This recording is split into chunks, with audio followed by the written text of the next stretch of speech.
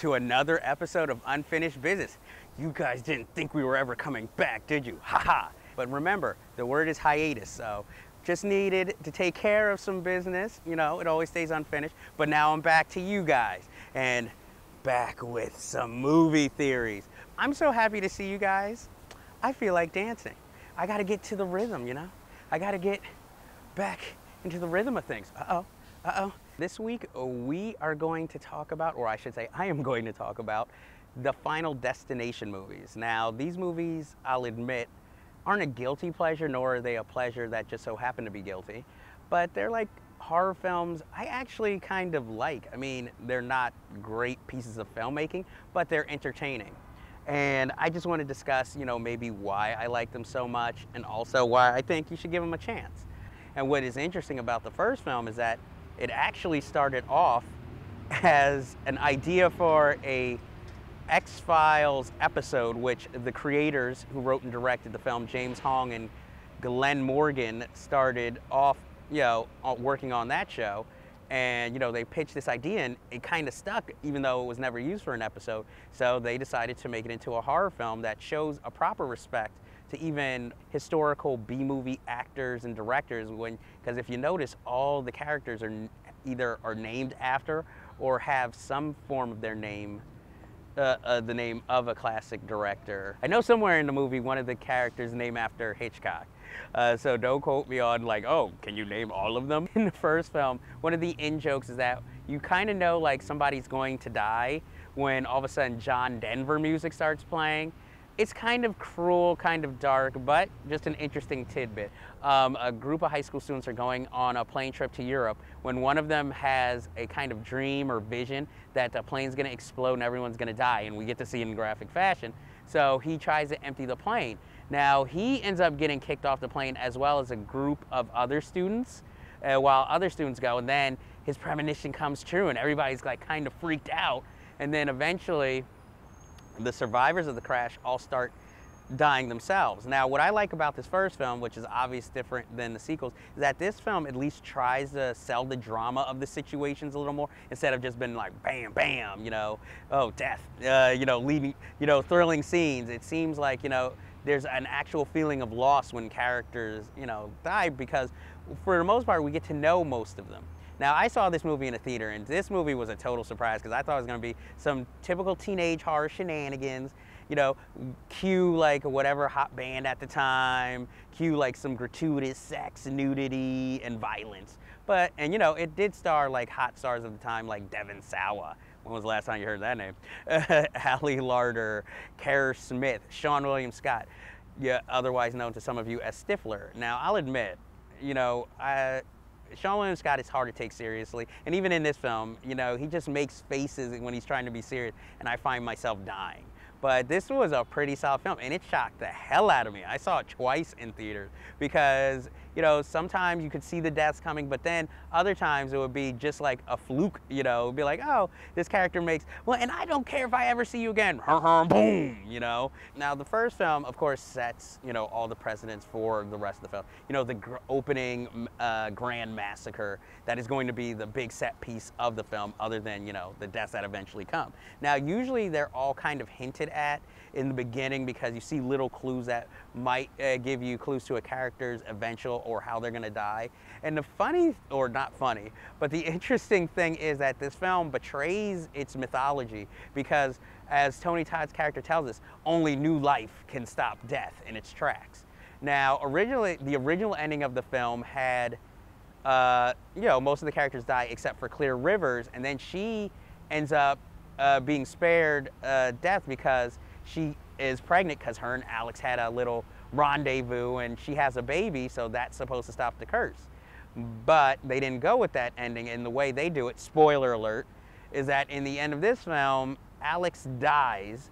He does the Neo. He dies, but then he's resurrected. So thought, thinking, oh, you know, death has been either outsmarted or, you know, they go against uh, death's rules so that now they're all free and safe. But then the ending has a twist, and then we come into Final Destination 2. this one starts with a spectacular highway crash. Of course, we see the vision, and then it's avoided. And, you know, we see the highway crash in all of its glory as a vision, and then, you know, it's avoided, and then slowly characters start to die. Since Devon Sawa had contract uh, you know, he basically wanted more money, and they were like, you know, the hell with you, allegedly. So uh, the only one who comes back for this film is Clear Rivers, played by Ali Larter. Now, of course, you know, they explain Alex's death, but they give him the lamest death ever. Now, we've watched all these films and watched how intricate the deaths are. How does Alex die? He got hit by a brick. Which I'm like, that's just lazy writing. This film is actually written by the two guys who are behind the Ashton Kutcher surprisingly good movie, uh, Butterfly Effect. And the only reason they agreed to write this film was if they could go into production on the Butterfly Effect. So maybe that's why this film is uh, a little more macabre, but also has more of a sick sense of humor, which kind of sets the tone for future films. Now, the original creators did not come back. This one is directed by David R. Ellis, who before this was a known stunt choreographer, so this was his debut uh, directing feature. Unfortunately, he has passed away, and he we only have a few good films that he directed, and this one is actually very favorable. Again, I saw this one in theaters, and imagine to stay shocking even if you kind of knew what was coming, but that's the thing I appreciate about the series, that they always stay surprising. This one is, you know, it follows the first film's formula. It's more followed by numbers, but it kind of at least feels like it's something in of itself. It's like the adrenalized, pumped up version of part one. It cuts to the chase and gives you all the stuff you want. It's Final Destination on steroids. So then we have part three where James Wong and Glenn Morgan come back. And you know, they don't even follow the rules of their first film. This one is just more like, okay, let's just make some interesting deaths.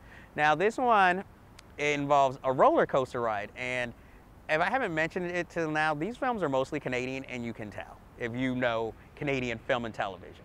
And here you can really feel it. I believe this is the one with Mary Elizabeth Winstead starring. So, you know, future, you know, superstar, early career role. Now this film, roller coaster, again, you know, we see the glory, she has visions, she survives, and a whole bunch of other classmates survive.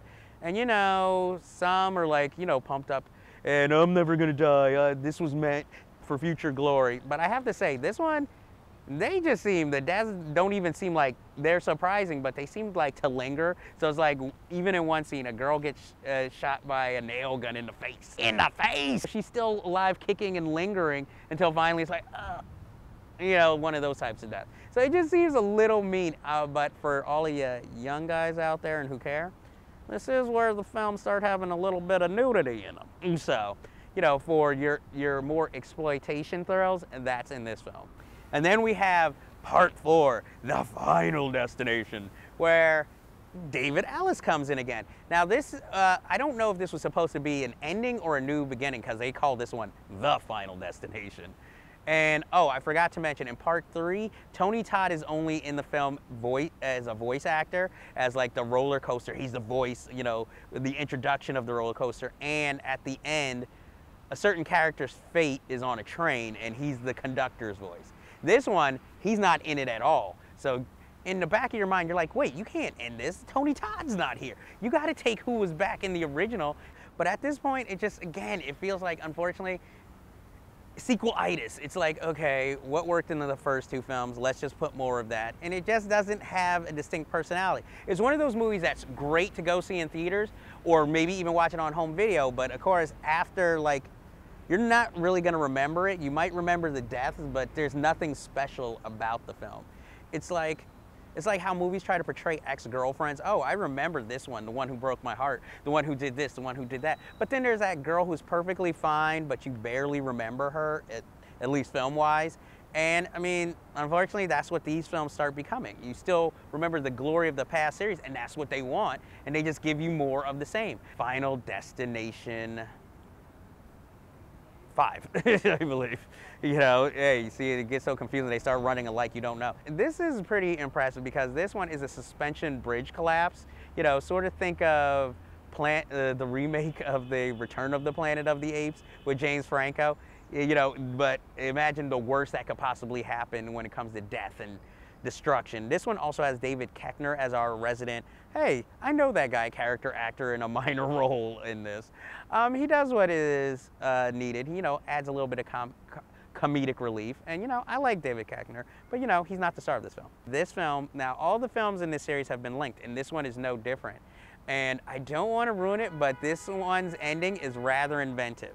Uh, this is the first film where actually a character realized that they're probably on death's list, but to kind of cheat death, they're going to start trying to kill other characters for their own survival. So, I mean, again, at least that's somewhat original, you know, in this series and trying to breathe new life into it. And, you know, that is the episode on the Final Destination series. I think you guys should definitely check the films out, whichever one you want to start with, but, you know, they kind of go from best to worst, from one to five. So I think, you know, you should all give it. And unfortunately, I know we just we just saw each other. But that ends our business for this episode. But remember, there is always more unfinished business out there for us to do and to be done. But before I go, have you guys seen Easy A? If not, why not? Because it's awesome. And with that, I bid you adieu.